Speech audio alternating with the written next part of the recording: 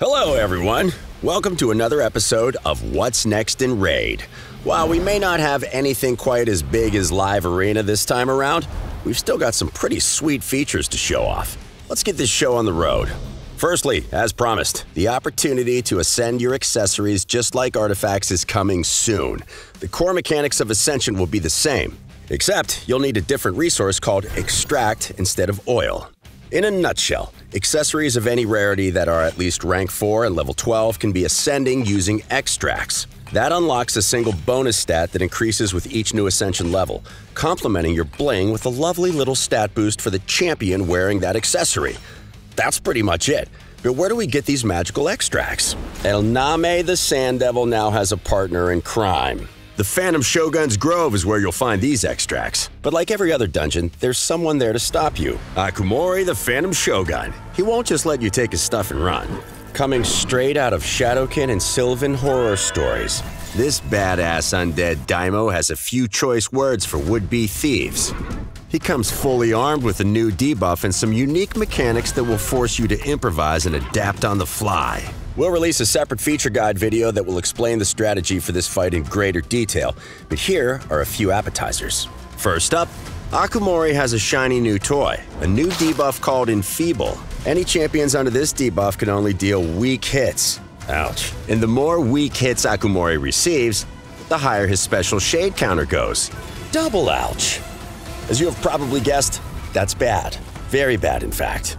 It increases Akumori's critical rate and critical damage, makes him immune to a bunch of effects, and sets him up to deliver devastating single target nukes that ignore protective buffs.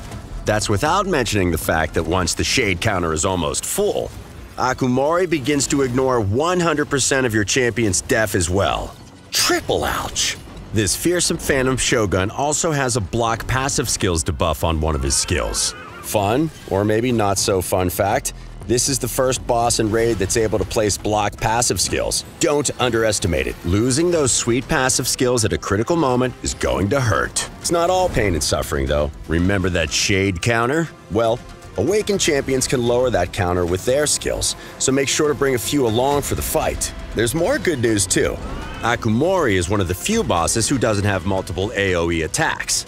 So champions that can use Taunt can distract the big guy from the squishier members of your team. And, as always, cleansers and champions who can block debuffs are going to be a must, especially to keep that nasty new Enfeeble debuff off your team. But that's enough about the Phantom Shogun's Grove. Keep an eye out for our feature preview in the future, and we'll take you on a proper deep dive. For now, let's move on and see what else Raid has in store. It has been quite a while since we released the Sylvan Watchers, and we've added to their faction over time. By now, you've collected and leveled up some of these enigmatic forest warriors, so it's only fitting they finally join faction wars with a crypt of their own. Don't expect any surprises or unique changes. We're going the same route as we did with the dwarves in Shadowkin, so all previous rewards except for Lydia the Death Siren remain the same. And when the Sylvan Watcher's Crypt is added to the game, you get more milestones to conquer in faction wars. Lydia will remain the ultimate reward though. If you already reached but forgot to claim her, don't worry. She'll be sent straight to your inbox when these changes go live. If you are still some stars short when the update hits, you'll need to complete the new crypt to earn her. So, get moving. Speaking of collecting champions, the roster of champions in Raid has certainly grown in size, so we have prepared an awesome quality of life update to the champions filter. Behold. Available both in your collection and on the Battle Select screen, this filter will allow you to browse through your champions using more filters than before. We've made it super easy for you to get to the champions you want to use for each game mode. For starters, you can just type the champion's name in this field. Yeah, that easy. You don't even need the full name, just a few letters will do. Then you have the most basic options to select champions who match a certain rarity, affinity, rank, and type. So if you want to see all your legendary magic attack champions of rank 5 and above, you can do that. Want to see those same champions that belong to one or several specific factions? No problem. We've got that covered as well. You can make it even more specific by searching for champions with a specific type of aura skill. And we're not just talking select champions with an increase attack aura. Oh no. You'll be able to specify whether it's an attack increase in arena, dungeons, and so on and whether it applies to all allies or just a specific affinity. Neat, right? What? Not enough for you? All right. How about choosing champions who can apply specific buffs or debuffs? You can pick multiple options from the selection, and the filter will bring up all champions you have who can dish those effects out. And just in case that's still not enough for you, we have the same options for instant effects too, such as healing, turn meter manipulation, manipulating buff or debuff duration, etc. Finally, we've not forgotten champion tags. You can add those to your filter parameters as well. All in all, we tried to make the Champions filter as comprehensive as possible, and it will ensure that team building is easier than ever before, especially for those of you who already have hundreds of champions in your collection. Let's move on to one of the updates coming a bit further down the line.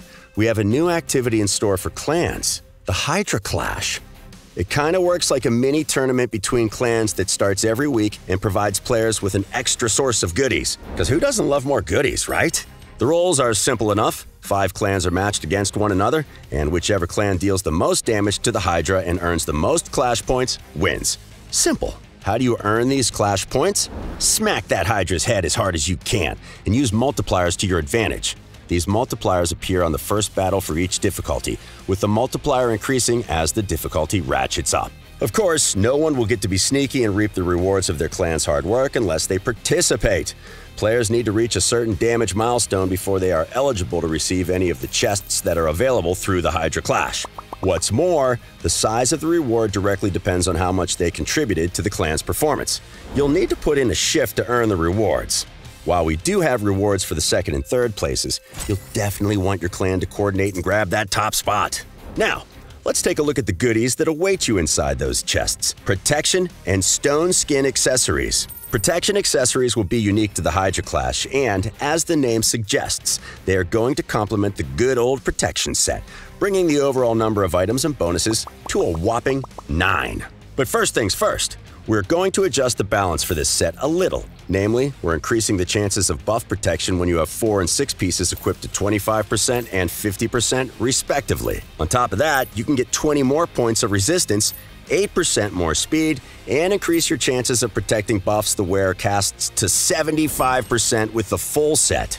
Not only that, but we're adding another new effect for the full set. Champions will deal 5% more damage for each buff placed on them by a champion with the full protection set. This is a must for support champions. Allowing them to place and protect buffs is a big deal, as well as increase the damage output for other champions.